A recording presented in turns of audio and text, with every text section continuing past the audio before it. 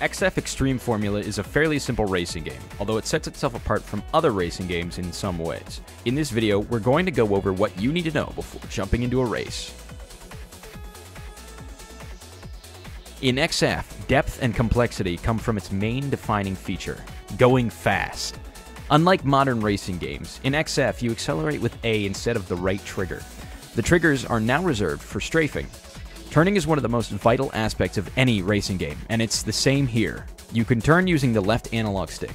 You can also increase your turning radius by releasing the accelerator and braking with B, although braking for a turn should only be used as a last minute resort. Another method to assist with turning is the strafe, activated by using the triggers.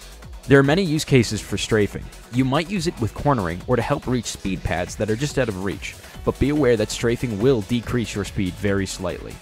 Knowing when and when not to use it is key to victory.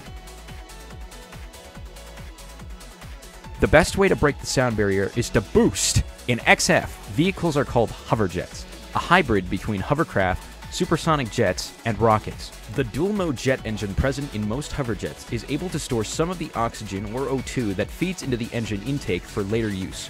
When used, both O2 and fuel are combined directly at high pressures to boost the vehicle forward at great speeds. In the UI, the O2 bar is your boost meter, and it is replenished by either going over an O2 pad or through RAM. The RAM bar shows the amount of O2 your vehicle is collecting as it moves. The faster you go, the more O2 is collected. The red bar that is on top of the RAM bar is your overboosting meter. Overboosting is one of the most important factors in order to build speed. Every time you boost, you build up overboosting. The more overboosting you have, the faster your next boost will be. In practice, that means pulling off long chains of boosts and is key to going even faster. Speed pads will also give you some extra overboosting. The faster you go, the more boost you can get, and the more you boost, the faster you can go. It's a positive feedback loop, and your job is to keep it going during a race. When choosing your vehicle, you should pay close attention to its stats.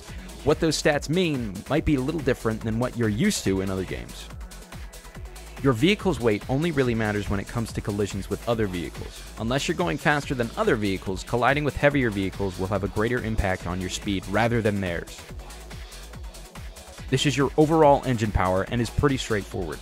The stronger the engine, the faster it can go. This stat is how easily your vehicle is able to cut through air, as in your theoretical maximum speed under an atmosphere. This is the hardest stat to understand, but all you really need to know is that vehicles with higher aerostat are capable of much higher speeds than those with low aero.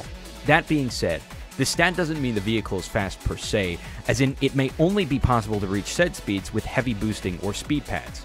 In fact, to have such high aerostats, vehicles will often compromise other stats like engine power. This stat is a combination of a couple things how strong the vehicle's boost is, the amount of O2 gained from RAM, and how easy it is for that vehicle to gain more overboosting. This stat has a direct correlation with your turning radius. Often the stat is the same across most vehicles, but some will sacrifice it for the sake of speed. Vehicles with lower stability will slide around while turning. This has to do with how much your vehicle slides around when on off-road terrain. On the top left of the UI are some stats. For normal racing, most of these can be easily ignored, but for those who want to push past their limits, it's best to give them at least a little bit of consideration. There is one special case where this should not be ignored racing in the vacuum of space. While in vacuum, your vehicle will use its O2 reserves to propel itself forward. Because of this, you will be unable to boost. However, since there is no atmosphere getting in the way of your vehicle, you will continue to accelerate endlessly, assuming you don't crash. While we haven't discussed everything there is to know about XF, with this knowledge you should be ready to tackle a few races on your own. So what are you waiting for? A demo is available right now on Steam. Please enjoy.